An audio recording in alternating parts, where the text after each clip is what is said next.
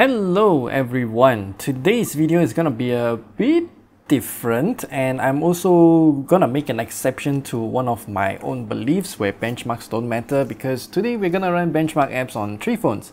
Galaxy Z Fold 7, this one right here, Galaxy Z Flip 7 with the Exynos 2500 and uh, this is the S25 Ultra that I've been using for the past 6 months or so and these two phones, the S25 Ultra and the Z Fold 7 are using the Snapdragon 8 Elite for Galaxy and this one is using the Exynos 2500. First off, benchmarks are really stupid because when you get the scores, they don't really mean anything because when you play a game, it will mean completely different things. The reason why we do gaming tests is because when you buy a phone like this, a high-end phone, at most you're gonna do is play games on it. And that is why I prefer to do gaming tests rather than running benchmarks because the scores really don't mean anything. What does having a thousand points higher in, let's just say, Geekbench mean? Well, I don't know because those scores just don't correlate to anything specific. Now, the reason why I'm gonna run benchmarks today is because a lot of people are asking on the benchmark scores. So, let's do it. Um, I gotta tell you one thing is that even though these two phones have the exact same chipset, they won't perform the same because of how the chipset is tuned via software and also how the hardware is designed. This one has a vapor chamber inside, whereby the Z Fold 7 does not. But then, as we can see in the gaming test, the Z Fold 7 performs a lot better than the S25 Ultra because of how it is tuned. So, I will be running just two benchmark apps, but then within them they have a lot of subtests.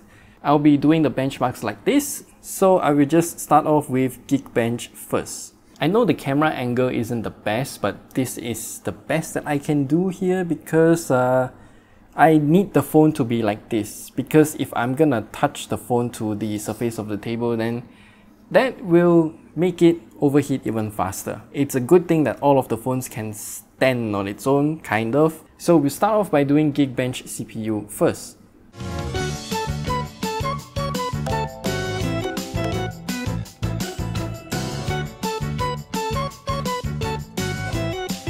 So with the first test done, I'll just show you the screenshot on the screen here because it's very difficult to fit all three devices on the screen for you guys to see. So uh, one thing that I have to say is that the score for both the S25 Ultra and the Z Fold 7 are very similar, but the multi-core score is very low for the Z Fold 7 in comparison. The Exynos 2500 is actually an interesting choice because they still maintain the small cores and in fact it is actually much more efficient than the Z Fold 7 because from our battery life test the Z Fold 7 actually has reduced battery life compared to before whereas the Exynos 2500 has improved efficiency over the Snapdragon 8 Gen 3 from last year.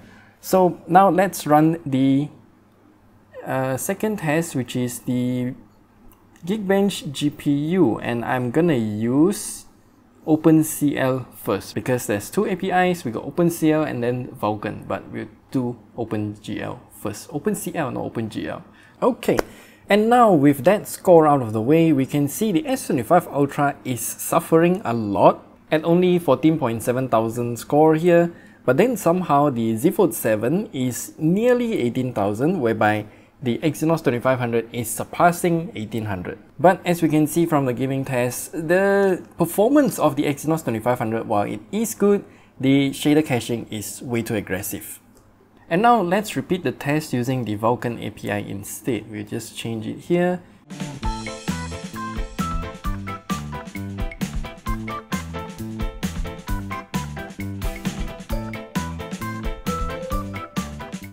Okay, and with that done, we can see the score for Vulkan is kind of weird.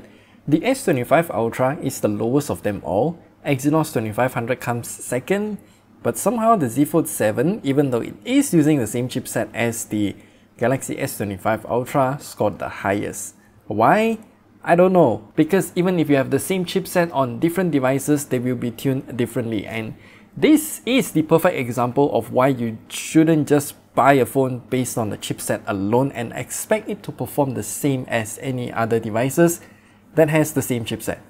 And to double down on that point, you can watch our video where we compare Snapdragon 8 Elite chipsets with the new Dimensity uh, 9400. The video is at the top right corner here.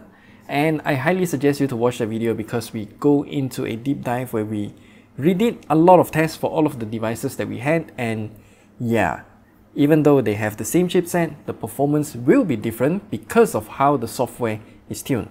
So now we will move on to the last test, which is Antutu. I have to start the test first and then start yapping a bit because I have already done the test and I don't want to spoil the score for you. By the way, while waiting for all of the tests to be done, I'm playing Pokemon Violet on the Switch too.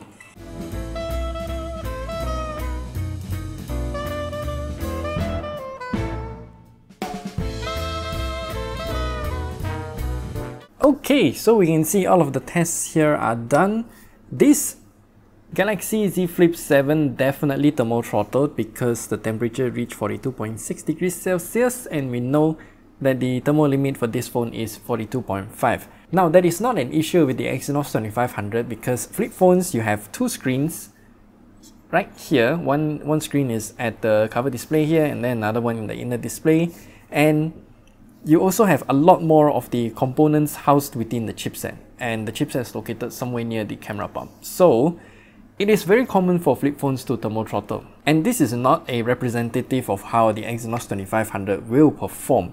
And one important thing that I want to tell you guys is that Antutu benchmark scores are very stupid because when they show you the overall score at the top there, it's a big number and a lot of people will just use that number to compare against how other phones perform. And the reason why this score is stupid is because it doesn't actually tell you anything. What you need to see is all of the four scores underneath that big number. And those scores, I would say they are much more important because you can see how the CPU perform independently, the GPU performance independently, the memory performance, which is surprising to see here because usually um, RAM speed benchmarks, they don't really matter that much, and also the UI score. The UI score here doesn't actually mean anything as well because when you expand it to show more details, it's kind of a bunch of BS. So as you can see here, the score for the CPU, the highest is on the S25 Ultra, surprisingly. This is not what we saw on Geekbench. And then the GPU, somehow higher on the S25 Ultra as well. I do know this is the case because it is very aggressive in terms of the wattage on the S25 Ultra, so that's why in benchmarks the score is high, but the S25 Ultra can never maintain that kind of performance for a long period of time.